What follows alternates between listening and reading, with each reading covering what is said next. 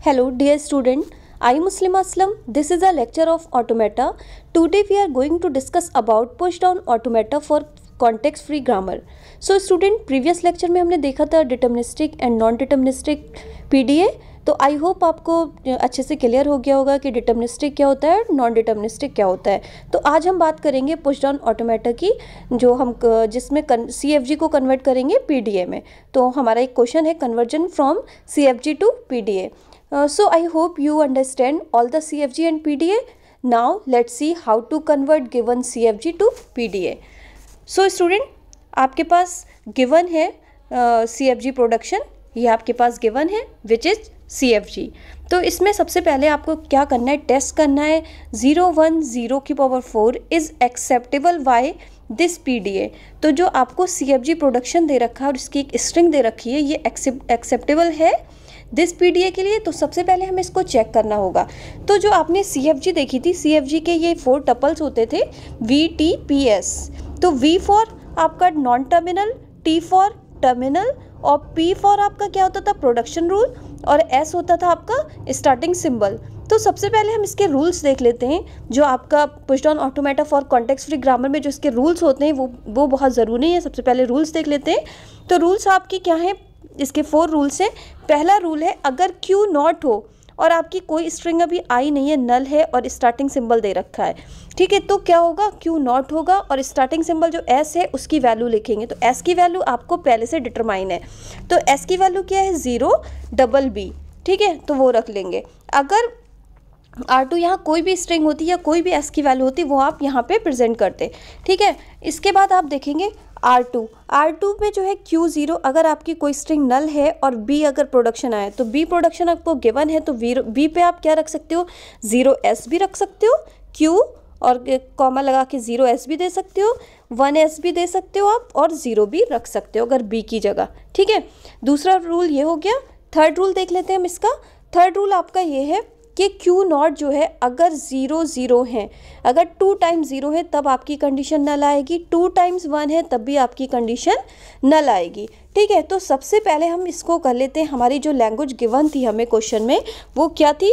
Zero one zero zero की power four था। यानी कि ज़ीरो वन और फोर टाइम आपको ज़ीरो लेना था। ठीक है, यहाँ पर मैंने वही किया है ज़ीरो वन और ज़ीरो की पावर फोर था तो फोर टाइम आपका ज़ीरो ले लिया।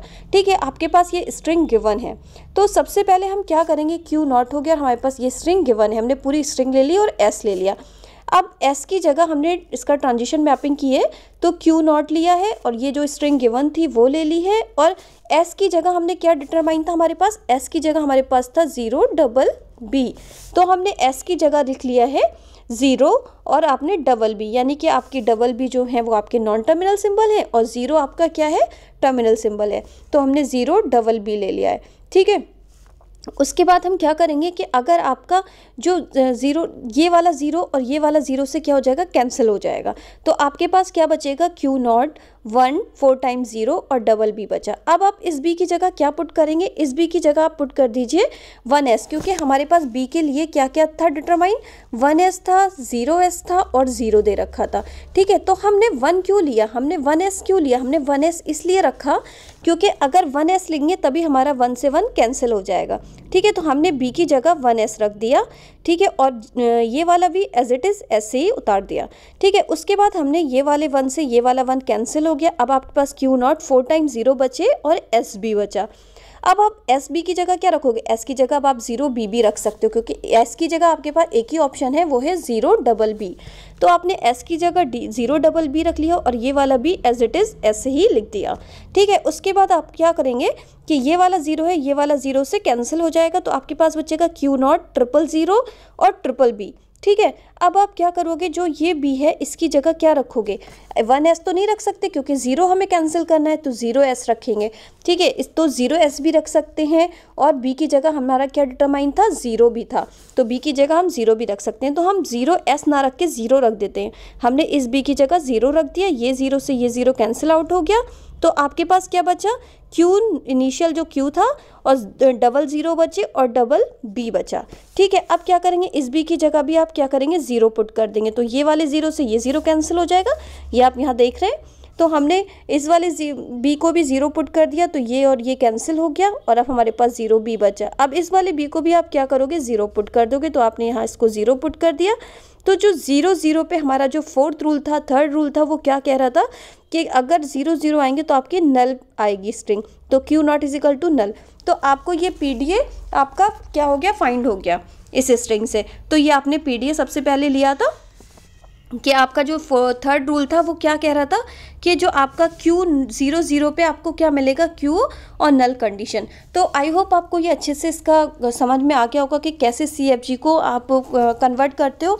अगर आपके पास ये लैंग्वेज है तो आप अगर इसको स्टैक में डालते तो स्टैक में क्या होता है? बॉटम ऑफ़ जेड नॉट होता और आपकी जो ज़ीरो पुश हुआ है तो सबसे पहले ज़ीरो पुश होता। जब वन आया तो डिफरेंट ये पॉप हो जाता। ठीक है, ये वाला पॉप हो जाता, फिर ज़ीरो आया तो क्या होता? पुश होता।